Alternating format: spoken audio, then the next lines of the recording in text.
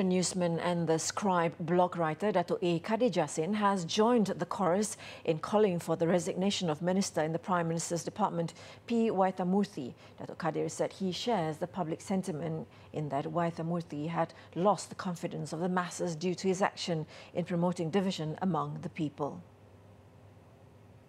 In his latest blog entry today, Datuk Kadir said he agreed with the public that Waytha Moorthy had lost his credential as he had become a character who creates division and the Hindraf chairman should resign as a minister as he was incapable of safeguarding national unity.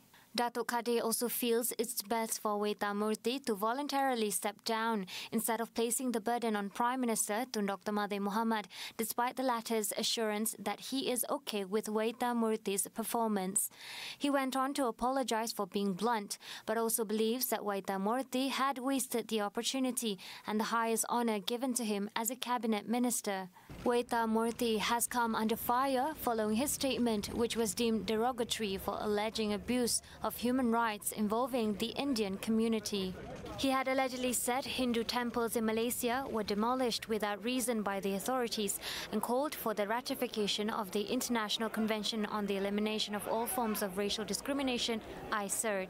Waytha Moorthy was also accused of fanning racial tension in the Seafield Sri Maha Mariamman temple riots last month, which claimed the life of fireman Muhammad Adib Muhammad Qasim.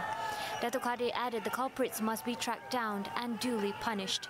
He also said it was tragic for Muhammad Adib, who was merely carrying out his duty to save lives and properties, was caught in the crosshairs and paid dearly with his life.